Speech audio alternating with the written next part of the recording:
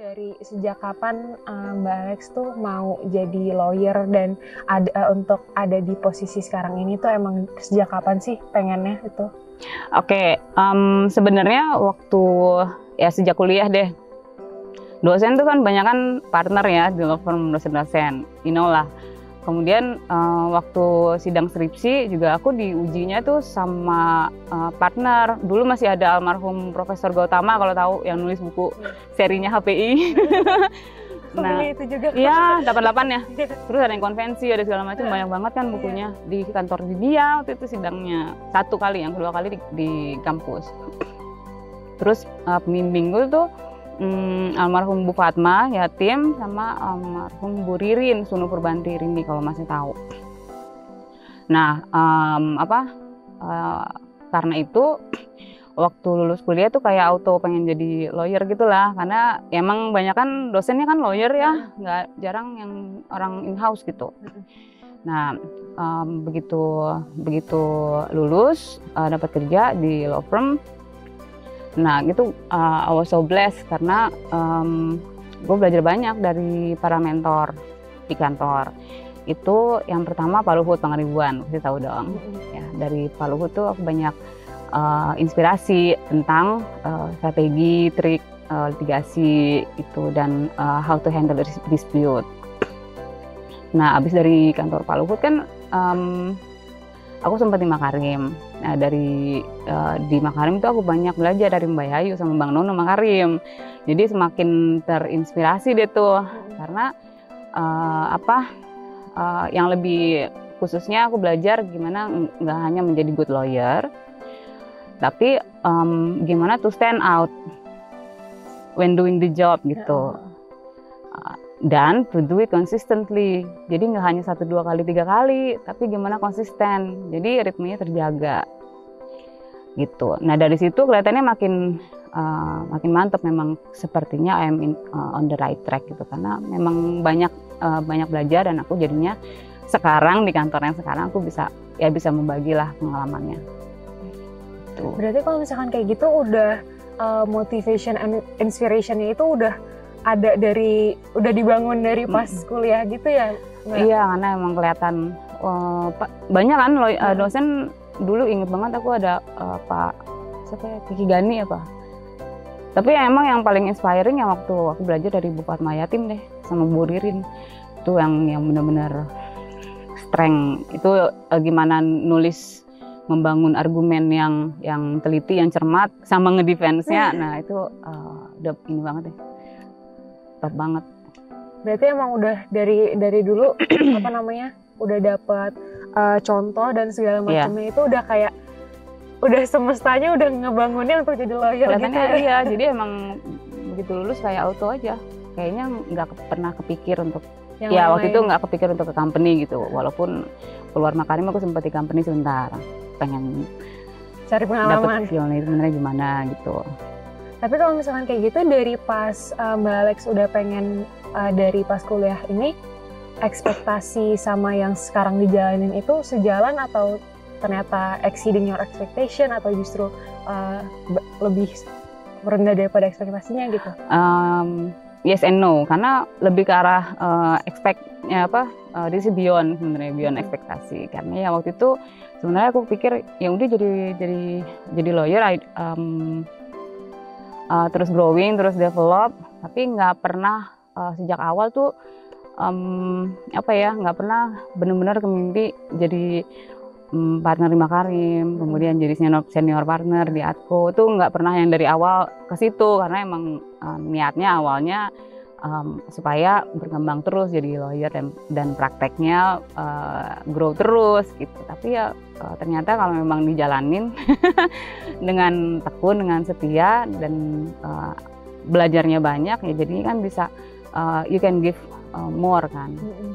tuh kalau misalnya kayak gitu uh, berarti kan udah beyond your expectation uh, sekiranya dari yang udah dijalanin nih selama beberapa tahun ini hmm. nih mbak uh, untuk tingkatan stres yang dirasakan dari mulai awal meniti karir mm. sampai sekarang itu juga uh, beyond your expectation juga atau enggak?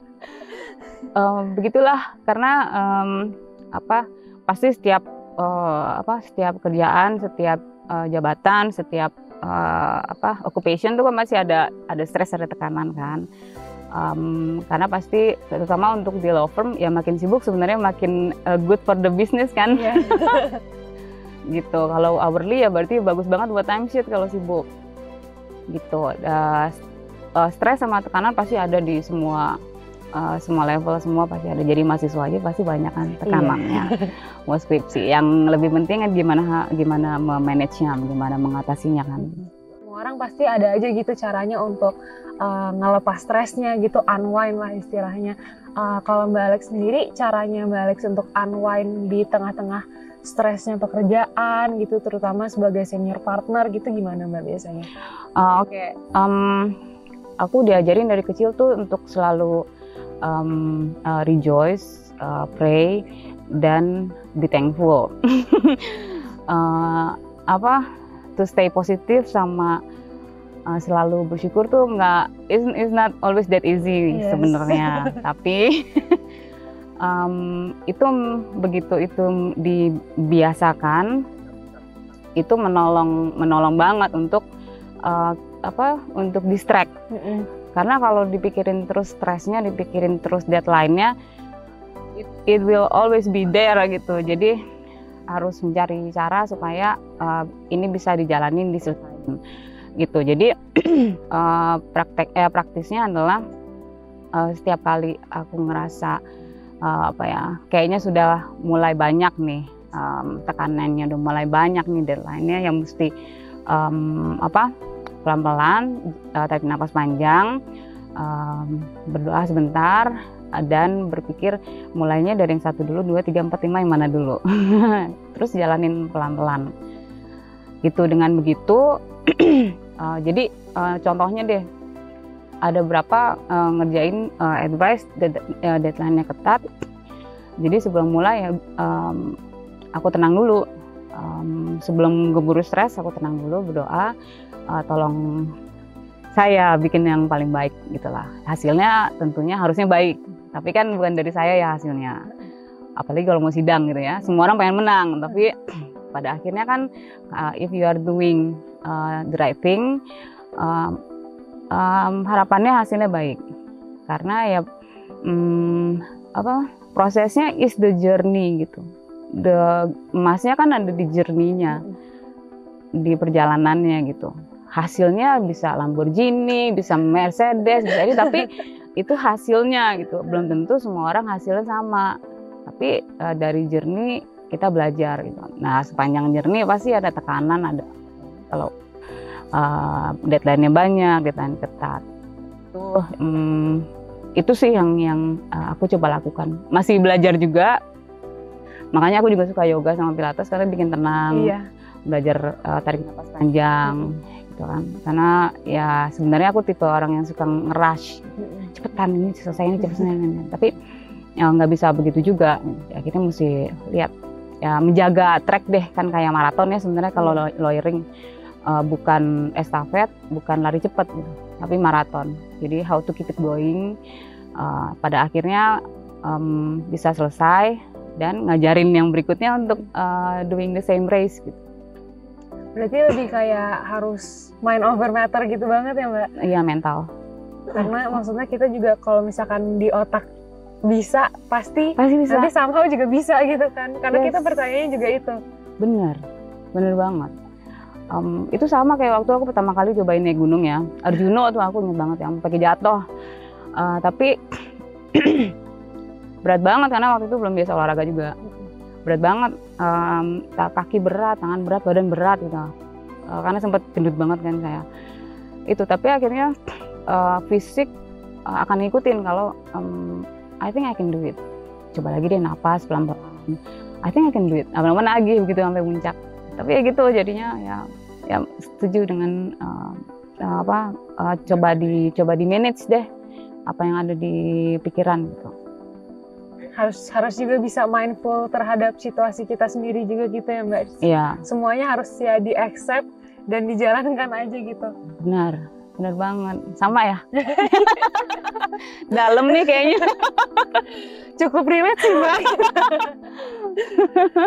Nah, mungkin kurang lebih itu sih kalau misalkan untuk uh, terkait um, apa namanya uh, cara unwindnya Mbak Alex. Tapi kalau misalkan untuk kayak hobi-hobi Yeah. lainnya gitu gimana Mbak?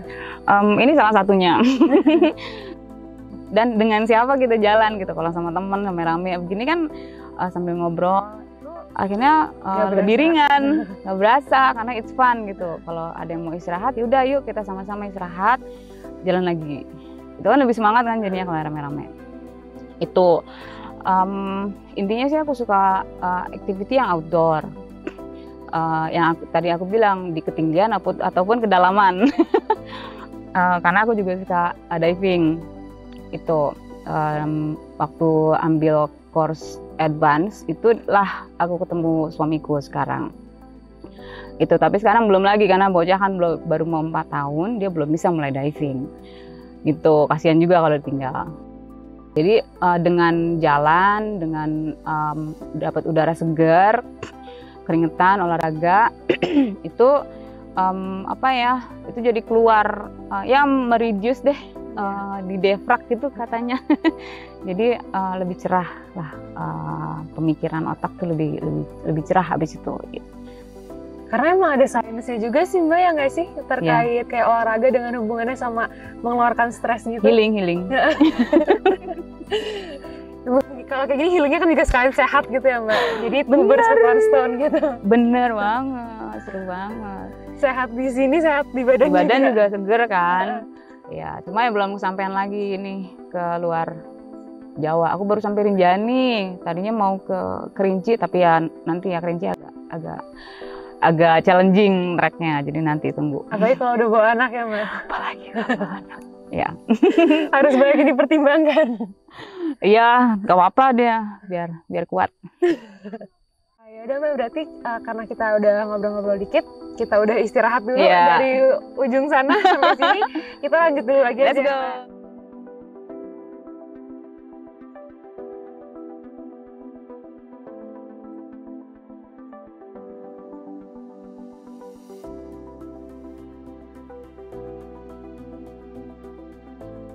Nah, eh, yang membedakan Alsa tuh dengan dengan apa organisasi mahasiswa kan banyak ya.